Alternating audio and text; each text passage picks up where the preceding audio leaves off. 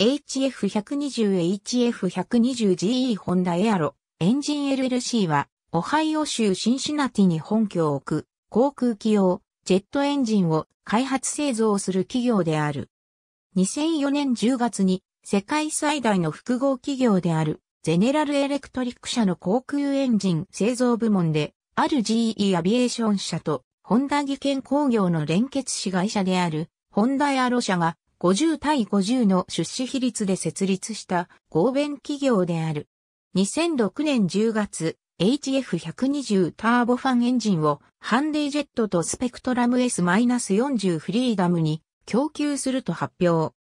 2013年12月13日、GE ホンダは HF120 が米国連邦航空局による連邦航空規則のパート33が定める形式認定を取得し、量産に向けたステージに入ったと発表。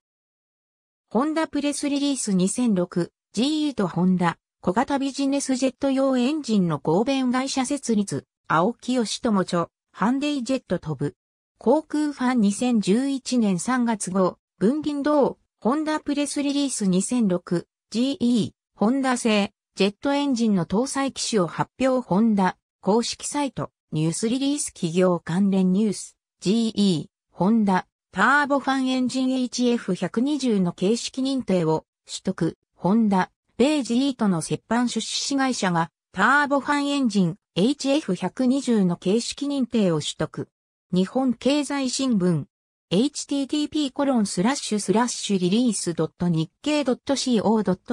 スラッシュディテール .cfm リールドイコール35万1529リンドットイコール4 2013年12月19日、閲覧。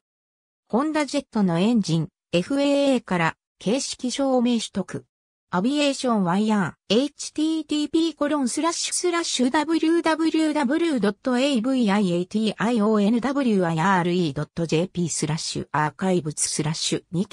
299532013年12月19日閲覧。ありがとうございます。